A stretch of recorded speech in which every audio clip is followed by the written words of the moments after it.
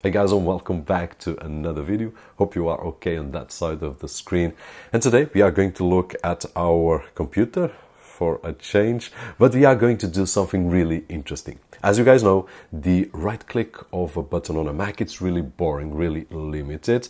We just have a few options right over there and we can have a lot more. That is what we are going to do with the magic menu from iBoysoft. I will leave a link down below, but basically it will turn our right click into something really smart, which will give us a lot of options and will make our life easier on a daily basis. So if you look at my screen right now, and if I click, it is different from what we have originally and I will share with you how we can create this and how you can create design for yourself. You don't need to use it like I do. So let's go. First of all, download it's free. You can try it out. Link down below. After that, install it. Really straightforward. And right now I've got here on my menu and I can open the menu Y so that we can configure the way that we are going to work. The first thing that appears is the new file. What happens when I click on the right? Uh, usually we only have new folder. That is it, nothing else. But now, if I go here, I've got new file and we can create anything that we want. For example, if I want to create a text file and if I press right over here, it will create a text file. It did give me that sound, which we can customize that and uh, the file is right over here. If I go to the menu, I can go to preferences and on the new file, enable audio and automatically open after creating a new file. So this is an option that I have. As you can see, it did open right over here. I can select and uh, write any text and then I can just uh, close it and it will be saved. Now, one of the things that we can notice is that we have a lot of options. So probably I want to disable a few of these that I don't use and of course we can select any, any that we don't use and you will see if I go back, new file, we will have a reduced uh, list. So we want to keep things really easy, straightforward in my personal opinion, we don't want too much thing. We want those that we really usually use. So I can just deselect and if I go back a new file, the list is getting cleaner and cleaner. And if you don't have the file that you use most here, then we can just go to the add button and we can um, browse and then we can create. And by the way, let's do an example right over here. What I want to do right now is to use a template and this will work for any kinds of document, any kind of software. Now, I did create one here on a Word document and imagine this document that usually use it on your day-to-day -day work and several times a day then what we can do is a shortcut for it. So I want to browse and go to desktop and template doc. Select and I can give a name to template, which is not very original, um, but I can say RJ, which is Roberto Jorge. Template Roberto Jorge, press OK. We will find it on the list and it will be right over here, template RJ. So if I go to the new file, I can go and select template RJ. So if I press right over here, it will create a copy. Did you notice that this document is new? It did create a copy from the template, so it will not use the original. We can modify whatever we want and then send it once we finished. And um, it automatically saved to the desktop and we are ready to start using it, which is just awesome. Now, another thing that we can do is that, uh, for example, if I use this a lot, then probably I want to use it on my main menu. And when I press, I will see new template RJ on the main menu. This can happen with another uh, app.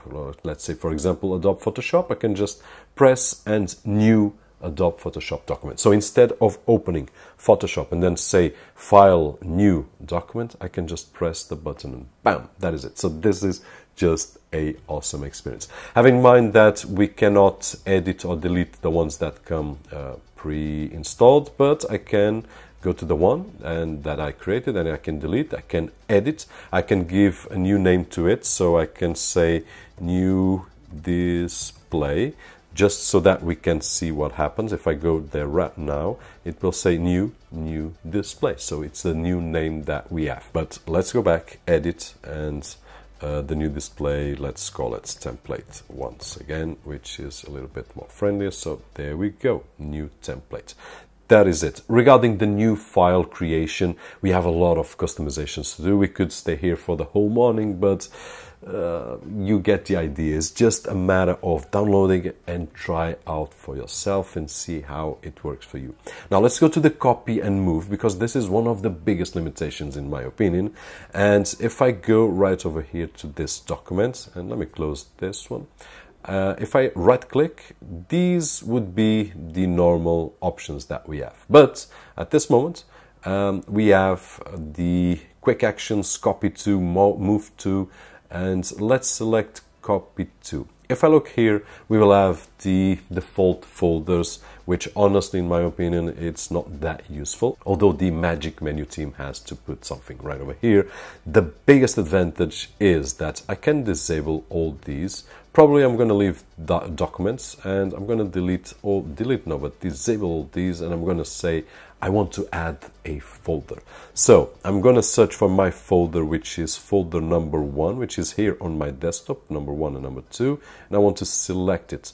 And uh, the name can be folder one. I'm going to leave it as folder one. So now, if I go to right click and I uh, select copy, it will select or it will give me the option to copy to folder one, which is really nice. But let's say that, okay, it's folder one, but I want a friendlier name. So I can just call it office, um, office doc,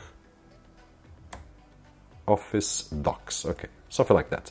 And I press OK. So the folder is still called folder one, but the name that I'm giving it is office doc. So if I go to the doc and I want to copy somewhere, here I am, Office Docs, which is really awesome. So let's copy. I'm going to press here and it's going to copy and open. Once again, this is optional. We can go to the preferences and on the preferences on the copy move, we have all these options that we can enable or disable. At this moment, I've got everything enabled just for the video purposes and that is it. So at this moment, I've got folder one with a document which I can just erase and once again it's called folder one but I did name it as a friendlier name office documents now we have other option which is to move to if I go to office docs what happens is that the original file will disappear from here and it will move to the folder one.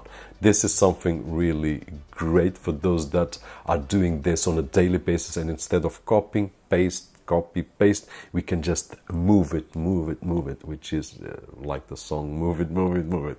But let's move on. So these are the biggest advantages that we have right over here in terms of copy and uh, move to now quick access it's also really interesting especially because I can access really quickly to anywhere that I want with a single click or right mouse button so if I want to quick access to I don't know documents I can just press here and bam there I go to the documents. Let's say that we have a folder, very specified folder inside a folder and a folder and a folder and a folder that I want to open um, several times a day and I don't want to be opening windows. I can just place it here and it will open it for me. So this is a great example that we can go, but there is also one that I really enjoy. If I go to my browser and I go to my channel, Portuguese channel by the way, and if I press right over here and add let's say that I want to add my website or my uh, YouTube channel what will happen is that if I press OK and if I go to quick access right over here I will have YouTube channel so if I press it guess what it will open my in Portuguese it will open my own YouTube channel. But I can do this for any other path. I can do for any website or any folder that I have. So this is a great option. Let's minimize this. And of course, like we did before, at this moment it's called YouTube channel. And if I want on the main menu, I can just press it here and it will be right over here, open YouTube channel. If I disable it and go here, it will go to the um, quick access so it's an extra strap this will be one of our options and as I was saying it's called YouTube channel but I can edit and say okay I don't want YouTube channel I want just channel or something like that. So let's press it OK. And now when I go to the quick access channel, there we go. So this is one of my favorites as well. Now function library, and of course we can customize this the way that we want. So you get the idea. Function library, it's really interesting as well. Uh, if I press the right button so that we can see, I will have the common, which is the one that we've got right over here, uh, copy path, list, hidden files. So we have some options right over here that we would need to do uh, a shortcut to have it enabled. We would need to go to the terminal to have it enabled. And here we will have it on the menu. So if I go to folder 2, for example, and I press right over here and go to common, and if I say hide selected items, and boom, it will hide that item. Now, if I go to, once again, common and unhide all items, there we go, it will appear and at this moment I've got some files that shouldn't be appearing. But so let's go to hide all items. And now let's go once again to list hidden files. And I want to select the ones that I want to unhide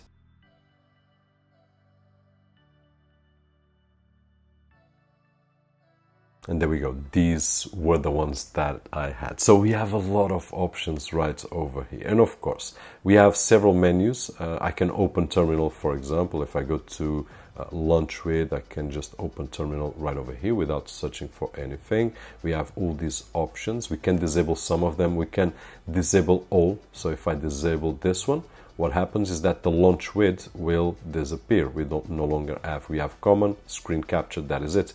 If we enable it, we have um, the uh, launch with back right over here. And for those of you that want to personalize uh, actions, you can do so by creating a new category, for example, and let's call this example.